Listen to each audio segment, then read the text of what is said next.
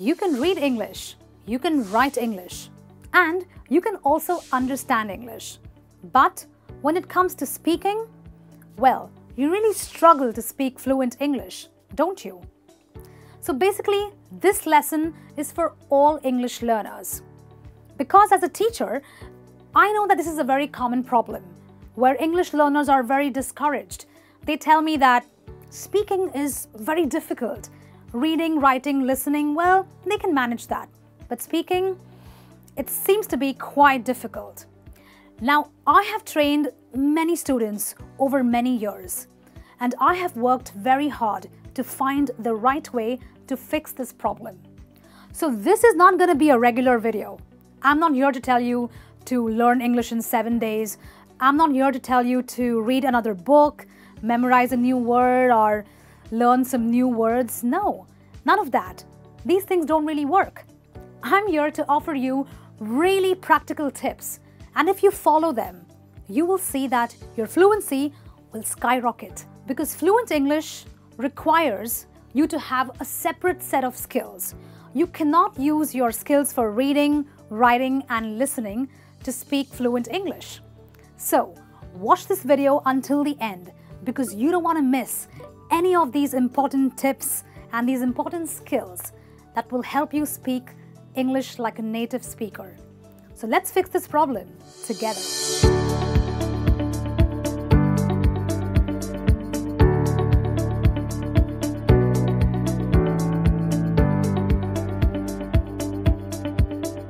Okay, now we're going to first understand what you are doing wrong. Because in order to fix a problem, you need to know what the problem is, right? Okay, so let's see why reading, listening, and writing does not translate into the ability of speaking well. Why? Let's see why. When you read, when you write, and when you listen, you have a lot of time to think about the language that you come across.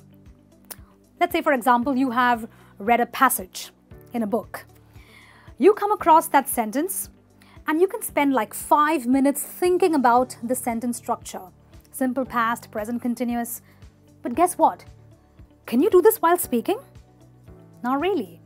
Speaking requires you to be prepared with what you want to say at the time that you want to say it. So you don't have the time to think and mull over what you're going to say. So basically, you cannot apply this reading skill of analyzing the language and applying it to your speech. It will not work. Honestly, it won't work. So, what does that mean? It means that you have to learn a new skill to come up with sentences promptly. So, what is this skill? Pay attention here. You need to learn how to build a database of sentences which can be used in a variety of speaking situations. Let me help you understand this. Let's assume you want to get ready for an important event. What do you normally do? Well, for me, I would organize my outfit, my shoes, my makeup. I do all of this a day in advance so that I look really good for that important event, correct? Well, similarly, you need to organize your language in order to be ready for speaking in different situations. So, you need to make a list of the different situations that you are going to speak in. So, I'll tell you what I did. When I was a college student, I was learning to speak English fluently. So, I would make a list of various situations that I would, you know, probably face in the day. So, in my list, uh, I kind of included a situation where I spoke to my teachers to ask permission or to give opinions. So in this situation, I would make a list of what sentences would I use. Okay, so let me think. For asking permission, I would need a sentence with modal verbs. So I would make a list of the sentences like, would you please help me with? Or could you go over my assignment? Now let's say if I want to give an opinion, what kind of sentence structures would I need? I would probably require sentence structures where I'm using the simple present tense where I can say things like, I believe that we can look at things from a different perspective. Or I might say something like, I think this theory is a great idea, however, we can. In fact, even when I was in college, I, I did a small, you know, part-time job, which was in sales. And um, I wanted to make sure that when I sell a product, I would sound like a fluent speaker. So again, I made my list. So I would include a lot of conditional sentences in that list. And I would say something like, if you buy this, we will give you a one year warranty. So you see, depending on the context, depending on the situation, I had my list of sentence structures ready, ready to speak whenever I was called upon to do so in any situation. That ensured that I was well organized, well prepared, and I was ready to speak in real conversations. And I did this until it became a habit, until I became fluent. Yes, preparation of what you are going to say in typical situations is a great start to become fluent and confident as your English becomes much better. Now, this is a tried and tested method. Believe me, it definitely works. Prepare and organize your speech and get ready to deliver when the time comes to actually open your mouth and speak.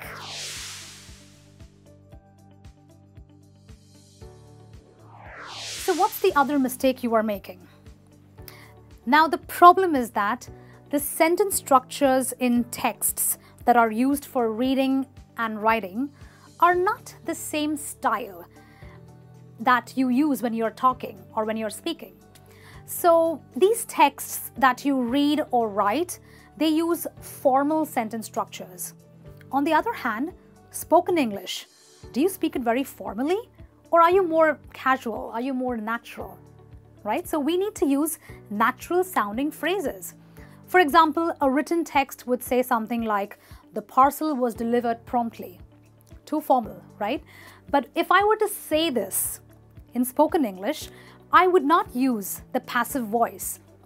I would say something as simple as, they delivered the parcel on time.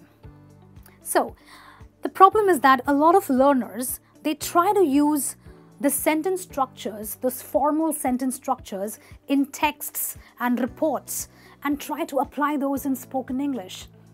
The problem is it makes you sound unnatural. You don't sound like you're fluent. You sound like you're reading out of a script. So what do you do? The second skill, you learn to rephrase these sentences and you have to make them sound natural.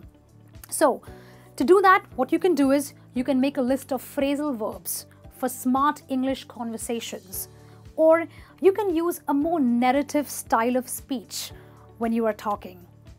So make sure you work at sounding natural.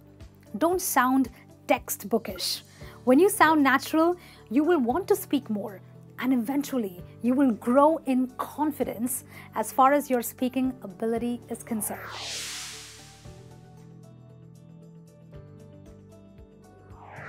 Okay, now we have another reason why reading, listening, and writing does not help you with speaking.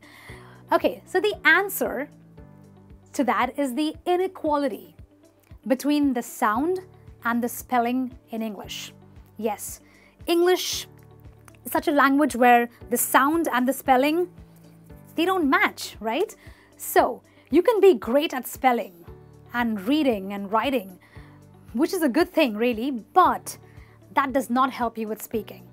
So what is the skill you should know? You should learn speech sounds. When you are able to learn all the speech sounds as opposed to the spellings, you become more confident to use the correctly pronounced words in actual conversations. In fact, according to research, people who learn good pronunciation through speech sounds are more confident to speak in conversations. In fact, we have a lot of videos on speech sounds and word stress that you must look up to understand this in detail. So go ahead, learn speech sounds within the words and don't rely on spelling alone. Good pronunciations automatically makes you confident to speak more and get more fluent.